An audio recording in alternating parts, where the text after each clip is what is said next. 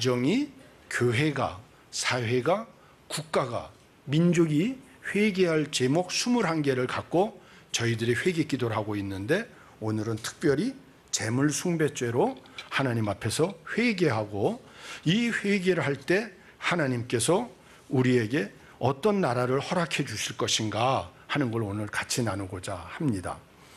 지금 누가복음 18장 우리 이제 성경 말씀을 보면 18절에 이렇게 얘기를 하셨어요. 어떤 관리가 물어 이르되 선한 선생님이여 내가 무엇을 하여야 영생을 얻으리이까?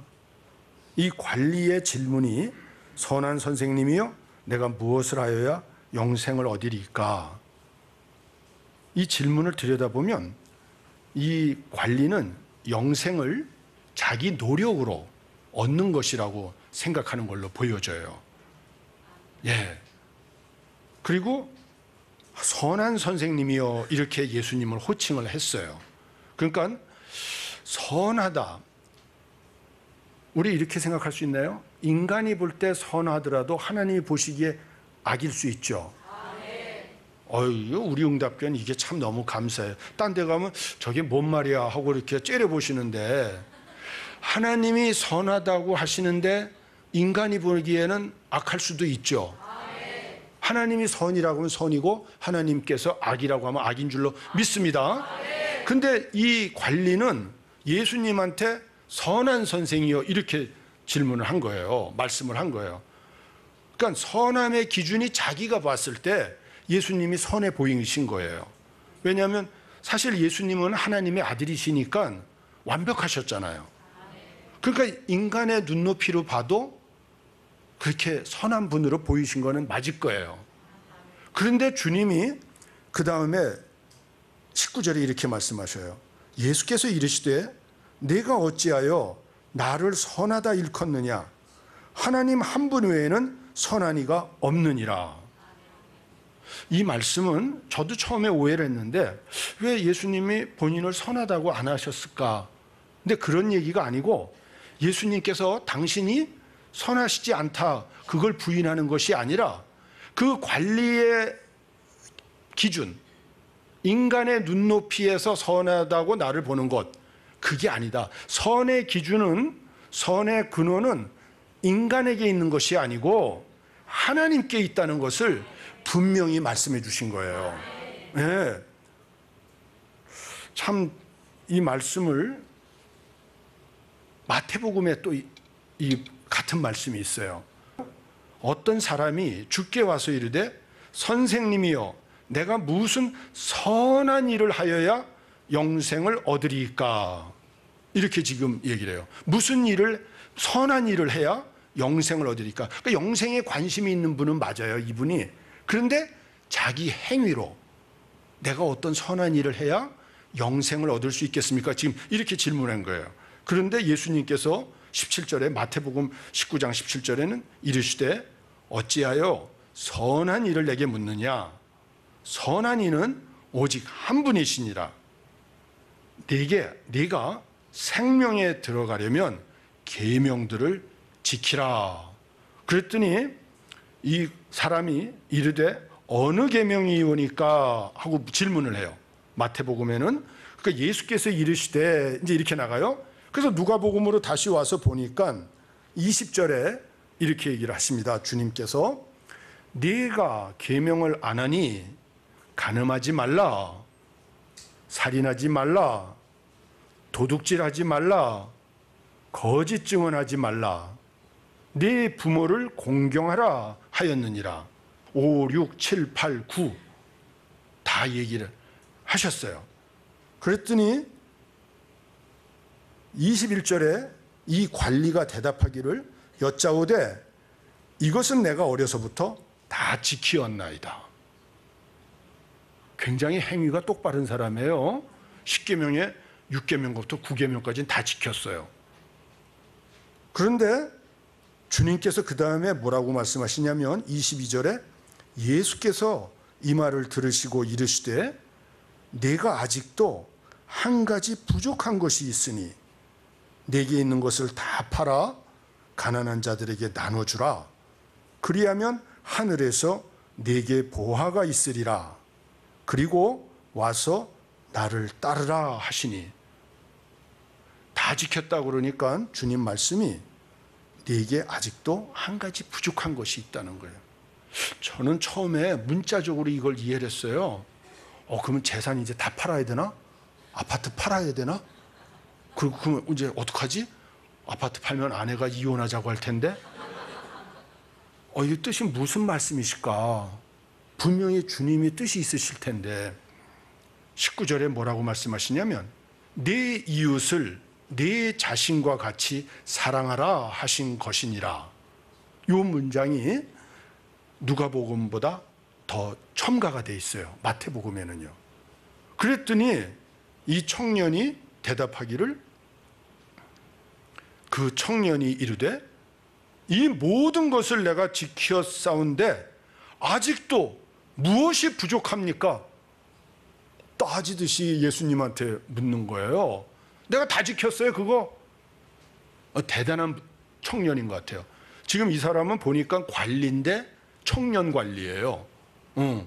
그런데 주님이 내 이웃을 내 자신과 같이 사랑하라. 한 6계명, 5계명부터 9계명까지 얘기한 걸 다 지켰어요, 제가. 어, 저 아주 당당하게 해요. 그랬더니 22절에 주님께서 이렇게 말씀하셔요. 내가 내게 아직도 한 가지 부족한 것이 있으니. 그런데 마태복음 19장 21절에서는 이렇게 말씀하셔요. 예수께서 이르시되 네가 온전하고자 할진대 온전하고자 할진대 가서 소유를 팔아 가난한 자들에게 주라. 그리하면 하늘에서 보화가 네 개 있으리라. 그리고 와서 나를 따르라 하시니. 자, 조금 더 우리가 성경에 말씀이 있으니까 읽어 나가요. 이 청년이 계명을 다 지켰다고 주장해요. 십계명 중에 대인 관계는 진짜 철저하게 지켰던 것 같아요. 그런데 문제는 하나님께서 예수님께서 전곡을 찔르신 거예요. 다 지켰는데 네가 제1계명을 어긴 거야. 제1계명이 뭐죠?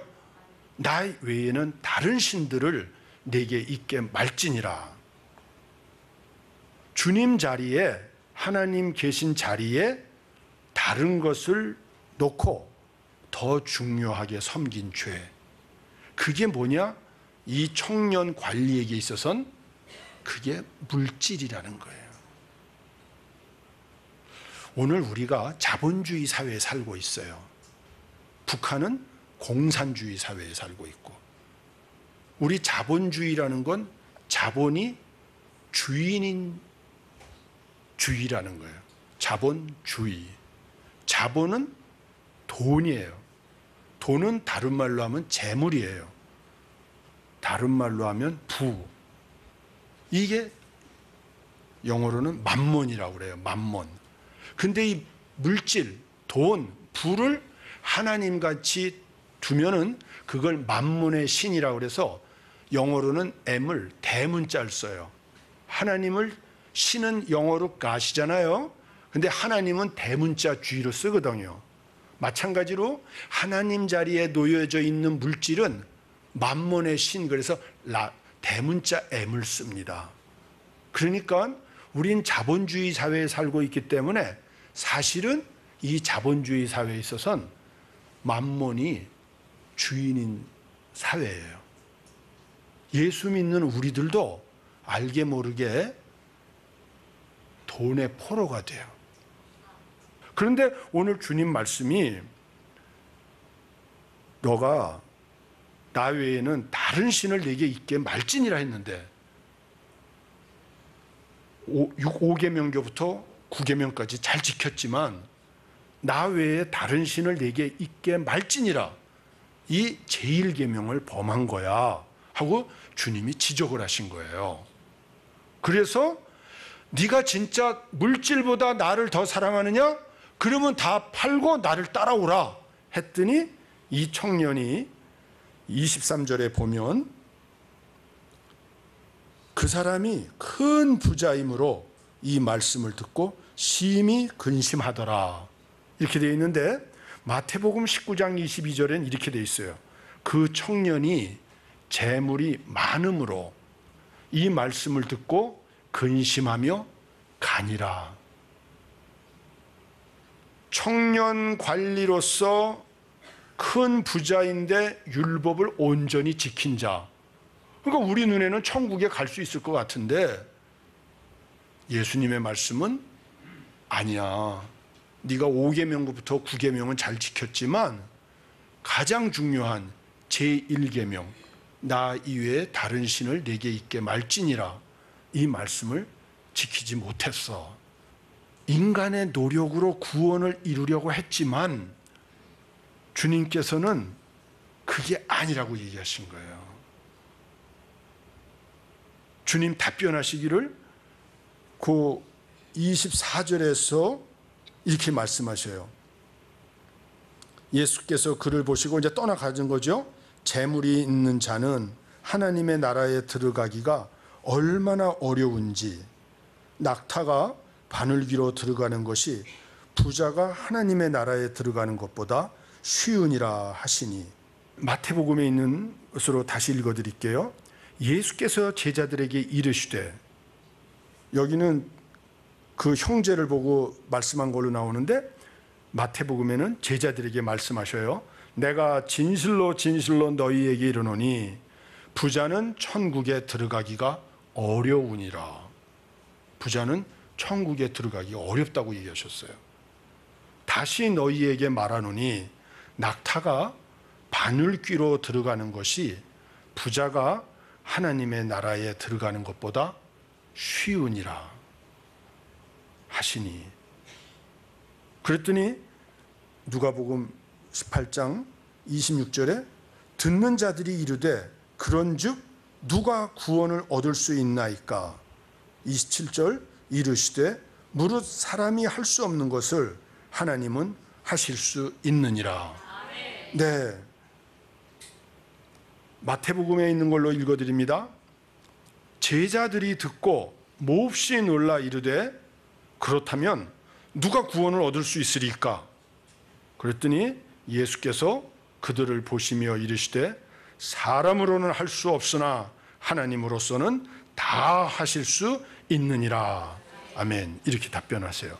그러니까 이 젊은 청년 율법을 온전히 지킨 관리가 선행으로 영생을 얻으려고 했는데 주님 말씀은 선행으로 영생을 얻는 게 아니다.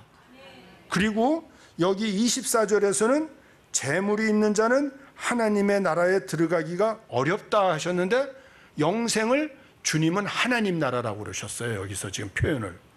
예. 그러니까 영생과 하나님 나라가 같은 거예요. Eternal life, Kingdom of God. 이게 같은 개념인 거예요. 지금 그리고 26절에 가서는 듣는 자들이 이러되 그런 즉 누가 구원을 얻을 수 있나 있을, 있을, 얻을 수 있나이까?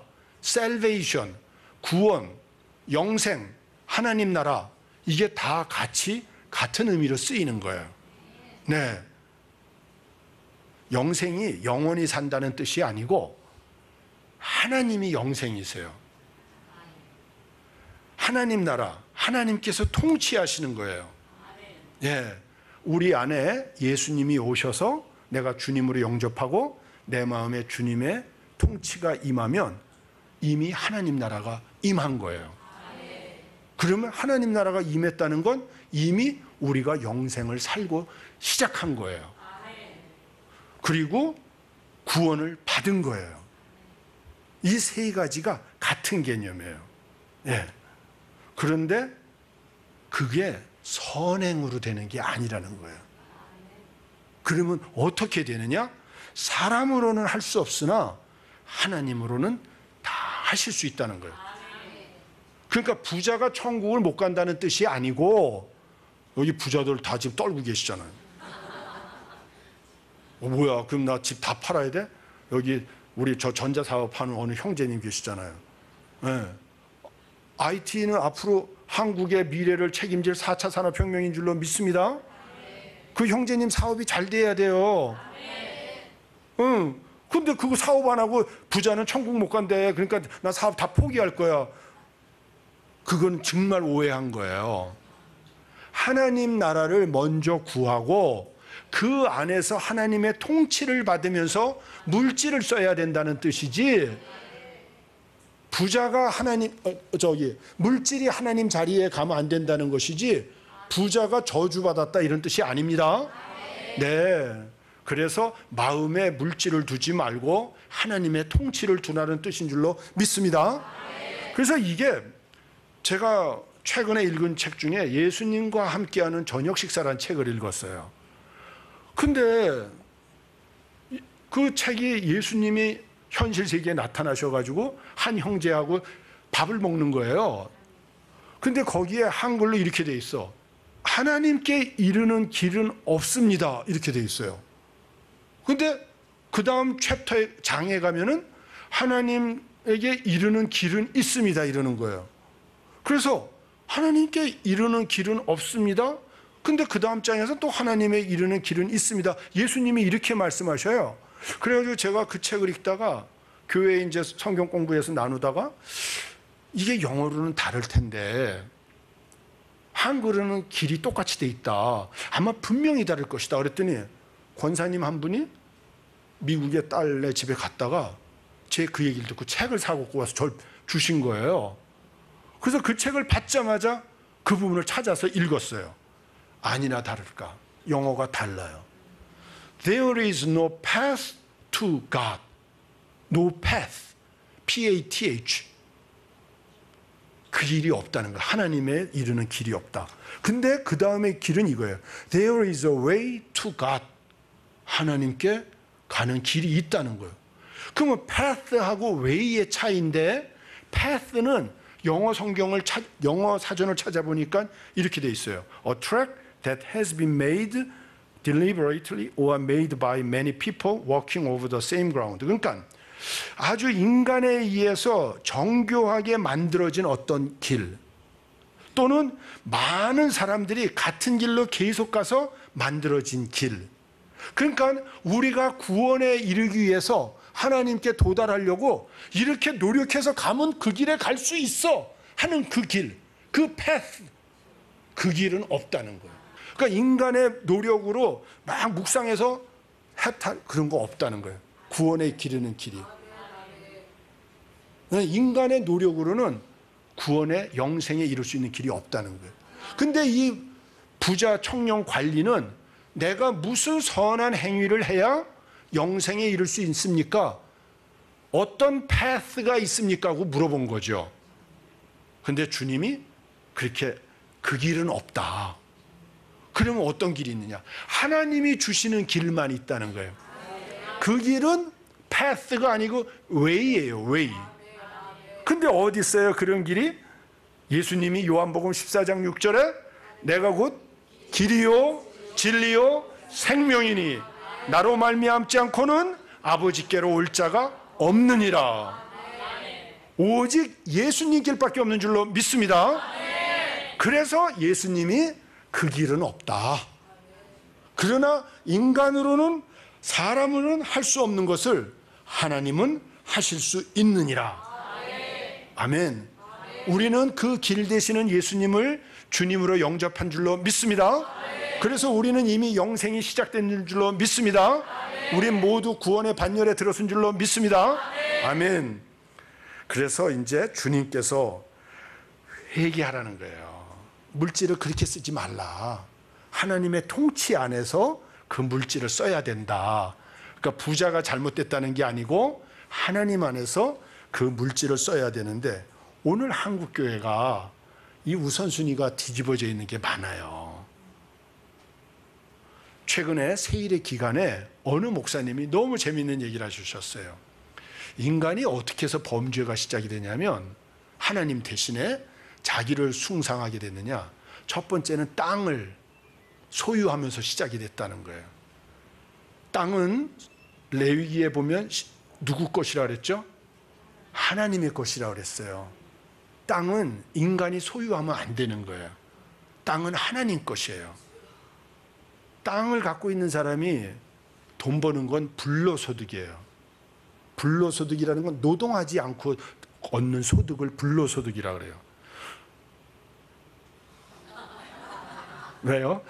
땀 흘리지 않고 돈 버는 사람을 꾸짖는 말이 있어요. 불한당 같은 놈 들어보셨어요? 땀 한자를 쓰고 아니 불자 땀 흘리지 않고 돈 버는 무리들 그걸 이 불한당이라 그래요. 그래서 이 불한당 같은 놈아 이런 말을 옛날에 어른들은 하셨어요. 성경은 우리가 타락한 다음에 누구든지 땀 흘려 노동해서 그 노동의 대가로 먹고 살라고 그러셨어요. 예. 책임은 하나님이 지시지만 우리는 노동할 책임이 누구든지 있는 거예요. 예. 그래서 이 땅을 소유하면서 우리가 탐심이 생겼다는 거예요. 두 번째는 하나님이 일용할 양식을 주신다고 그랬잖아요. 주기도문에 보면. 그래서 일용할 양식을 구해야 되는데 그래야 하나님과 늘 교제하면서 사는데 우리가 하나님이 필요해지지 않게 되는 거예요. 저장하는 걸 알았어요. 오, 오늘의 daily bread, 오늘의 만나를 주시는 걸 싹 갖다 숨겨서 저장을 하기 시작하는 거예요. 둘째 날은 하나님이 필요 없어요. 그리고 이제 셋째 날 되면 또 다시 나가서 주여 주소서 해가지고 갖다 놔. 아, 이제 한 3일은 더 갖다 먹어야지. 그래, 한 3일은 또 주님 없이 살아요. 그래서 인간이 하나님 없이 살려고 하는 게 저장하는 데서부터 시작이 된 거예요. 그러면 무한대로 저장할 수 있는 게 이제 드디어 개발이 된 거예요. 그래서 제가 어제 숭실대 통일 지도자 과정 학생들하고 이 얘기를 나눴더니 꼭 저처럼 일차원적으로 생각하는 형제가 있어요. 무한대로 저장하는 게 뭔지 알아? 그랬더니 이 형제가 아, 네, 선생님. 뭐야? 그랬더니 냉장고요. 그러더라고요. 오군하고 나하고는 똑같다, 야. 나도 그게 냉장고인 줄 알았어. 근데 저쪽에 우리 사업하시는 권사님이 계셔요. 60세가 넘은 경영학 전공하신 권사님인데 잘 사셔요. 권사님이 딱 듣고 있다가 그러시는 거예요. 교수님, 네? 그거 저 알아요. 뭐예요? 돈인데요? 깜짝 놀랐어요. 돈 맞아요. 돈이 무한대로 저장하는 거예요. 자, 그 돈 때문에 우리가 범죄가 시작이 된 거예요. 근데 돈을 발명한 나라가 어느 나라인지 아세요? 돈이라는 제도, 화폐를 만든 나라가 페니키아예요. 페니키아. 이 페니키아가 어디 있냐면 그게 이스라엘 위쪽에 있어요. 지금으로 하면 레바논. 그 페니키아에서 섬기던 풍요의 신이 바알이에요. 바알이 돈의 신이에요. 풍요의 신이에요. 이 거기서 돈을 만든 거예요. 이 돈의 신을 숭상하던 나라에서 이스라엘에 시집 온 여자가 있는데 그 여자가 이세벨이에요. 이세벨. 그래서 선지자들을 죽인 여자죠. 왕비가 돼서 아합 왕의 왕비가 돼서 그래서 북이스라엘이 순수한 여호와 하나님을 믿던 신앙이 바알 신앙이 들어와서 타락하게 된 거예요. 결국 그래서 북이스라엘이 망하게 된 거예요. 아수르에. 그런데 이 이세벨하고 아합 왕 사이에서 태어난 딸이 또 하나 있어요. 그 딸이 아달랴예요. 근데 이 아달랴가 남유다의 왕국의 왕비로 와서 결혼을 해요. 그리고 자기 아들도 죽이고 여왕이 되는 독재 정치를 해요. 그래서 페니키아의 바알신, 물질 만능주의 만몬신이 북이스라엘을 들어와서 북이스라엘을 타락시키고 남유다에 들어와서 남유다를 타락시킨 거예요. 오늘 우리도 마찬가지로 이 만몬신이 지금 장악한 시대에 우리가 살고 있어요. 그래서 교회가 여호와 하나님을 세상으로 확산시켜 나갈 것인가? 아니면 교회 안에 머물고 있으면서 바알신이 들어오는 걸 막다가 무너질 것인가? 지금 그 기로에 서 있는 거죠. 근데 오늘 주님께서 주신 말씀은 여기서 정신 차리고 나 이외에 다른 신을 섬기지 말라. 그러면 내가 너희를 쓰리라. 이렇게 지금 약속하고 계시는 거예요. 그래서 마태복음 6장 24절에 보면 이렇게 얘기하고 있어요. 한 사람이 두 주인을 섬기지 못할 것이니 혹 이를 미워하고 저를 사랑하거나 혹 이를 중히 여기고 저를 경히 여김이라. 너희가 하나님과 재물을 겸하여 섬기지 못하느니라.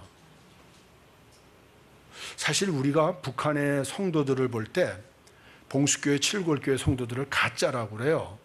왜냐하면 교회를 나오지만 한쪽엔 기밀성이가 있다. 이래서 가짜라고 그래요. 만약에 그걸 그렇게 막 갖다 붙이면 우리도 반성해야 돼요. 우리 마음에 한쪽에는 하나님이 계시지만 한쪽에는 돈이 있는 거예요. 그래서 우리는 남을 향해서 지적할 것이 아니라 우리 안에서 먼저 회개하고 북한의 성도들이 저 공산주의 체제에서 살기 위해서 기밀성을 받아들인 것 이해는 안 되지만 이해를 하면서 저희들이 완전히 하나님만 믿을 수 있게끔 우리가 밖에서 기도해 줘야 될 줄로 믿습니다. 네. 그래서 남북한이 모두 하나님 나라로 함께 바뀌어 가야 돼요. 네. 그래서 여기서 하나님을 섬긴다는 것은 돈을 버려라 이런 뜻이 아닌 줄로 믿습니다. 하나님을 섬기고 돈에 매이지 말라. 돈의 노예가 되지 말라. 돈을 다스릴 수 있어야 된다. 아멘. 참 그래서 우리가 이제 그 길로 돌아서고 그렇게 할 때 하나님께서 우리에게 예수 길을 통해서 영생을 주시게 될 줄로 믿습니다. 사